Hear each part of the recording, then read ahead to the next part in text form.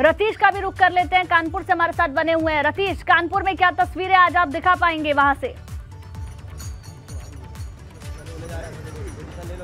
बिल्कुल, कानपुर की तस्वीरें भी उत्तर प्रदेश के कोने कोने से आ रही तस्वीरों जैसी है। और यहाँ पर ये देखिए, ये तस्वीर है, कोई ऑफिशियल चीज़ें नहीं है। लेकिन ये जो आज़ादी के मतवाले हैं, ये निकले हैं प्रभात फेरी लेकर के और देशभक्ति के गीत गा रहे हैं। और ऐसे ही सड़कों पर घूम रहे हैं।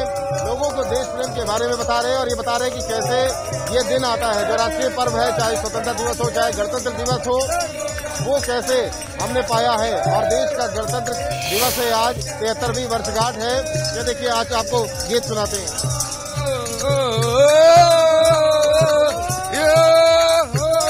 भारत माता की। भारत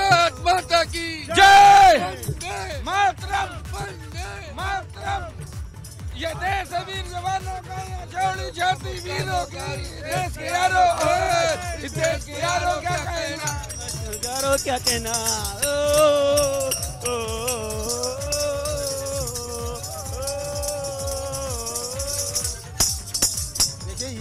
आज़ादी के मतवाले हैं और देश में देश की स्वतंत्रता के मायने समझते हैं आज़ादी के आज़ादी का पचहत्तर वर्ष वर्षगांठ है और देखिए वंदे